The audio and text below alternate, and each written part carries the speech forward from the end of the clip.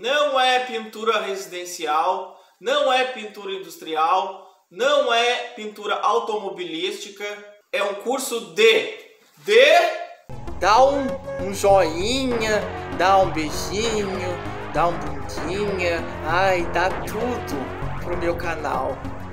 A cirurgia foi um sucesso.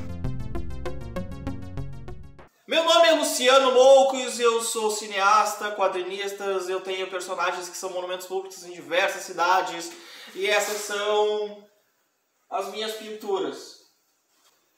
É, o curso não é dado por mim, o curso é dado pelo Ricardo Alves, artista, professor de desenho e pintura com mais de 16 anos de experiência. Eu sou um artista, eu sou cineasta, sou pintor, tenho as minhas exposições de artes, mas eu não me dedico a dar aula. Eu não me dedico a dar aula.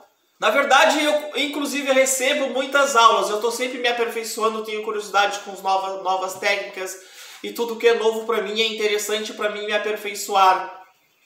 E também para aprender, porque a gente está sempre aprendendo, sempre aprendendo.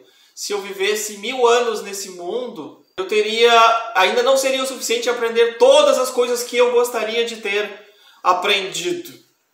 Mas como eu não tenho mil anos, eu tenho que ter um foco. E o meu foco é a arte e a cultura. E é isso aí. Beijo para vocês.